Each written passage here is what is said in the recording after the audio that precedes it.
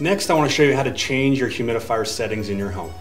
Uh, it's really easy to do. So first thing you're gonna do is you're gonna hit this right arrow on your home screen. That's gonna take you to your features mode. Here you're gonna hit system settings. On the left side, you're gonna see where it says humidification settings. You're gonna have two buttons. Humidifier is on and also the percentage that you wanna set it to.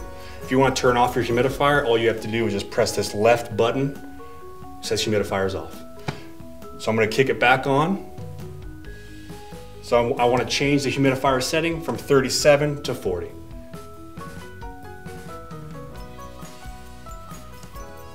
The best set point for your house is between 35 and 45 uh, percent, uh, depending on your climate. Uh, on this setting here, we can also see the current indoor humidity is 44%, so that's pretty nice that it shows us that too. So at the top right, we're gonna hit the X to exit this mode, then we're gonna hit the left arrow to go back to our home screen.